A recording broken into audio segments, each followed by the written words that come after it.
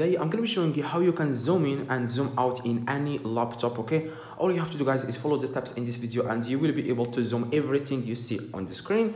You can zoom in and you can zoom out in a few seconds. So follow the steps guys and you will be able to do this. This is very easy guys. So let's start right now. What you want to do guys you want to search for windows key on your keyboard.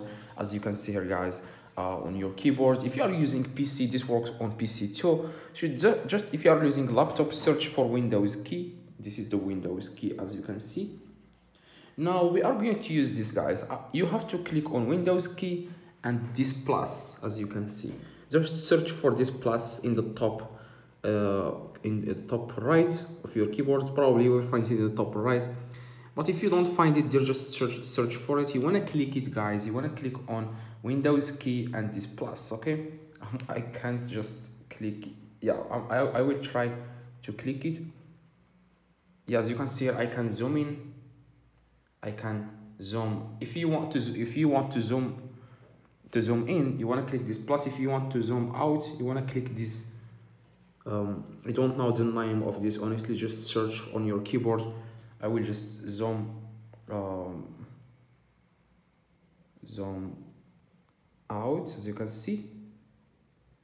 But if you want to zoom in you want to click on this plus as you can see. But you have to click on windows key by the way. Like you have to click on windows key and this one.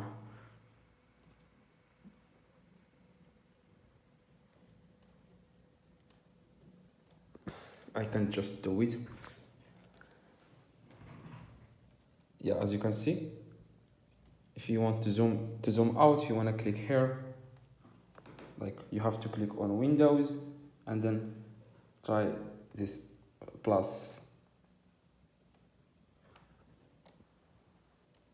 Just keep clicking it and you will be able to do that what you want. So hopefully this video guys helped you. Like i said this is the keys. After you click on windows key this one and this one. This one is to zoom out. This one is to zoom in okay hopefully this video helped you, helped you. If it does leave a like if you have any questions let me know in the comments if this works